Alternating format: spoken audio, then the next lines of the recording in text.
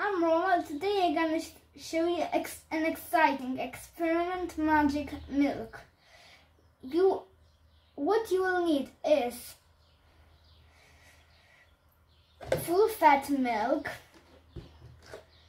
food coloring, dish soap, shallow plate, pipette, cotton swabs. What you need to do is to pour the milk in in the plate. Then with your pipette you drop you're dropping in the plate some colors.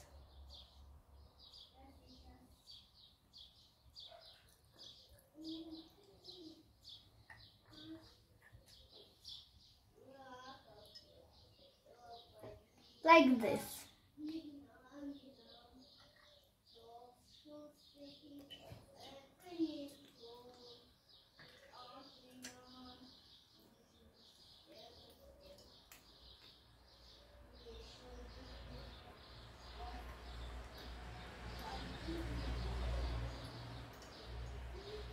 After that, with your cotton swab, you you putting dish soap in the color. What a nice effect it made. Why it happens? Milk is made of minerals, proteins and fats. When the dish soap enters the milk, its molecules run around and try to attach to the fat molecules.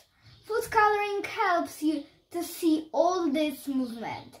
Thank you for watching. Bye.